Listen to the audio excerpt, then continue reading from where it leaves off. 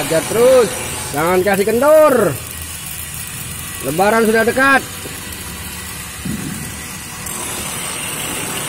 Sikat terus. Jangan kasih ampun.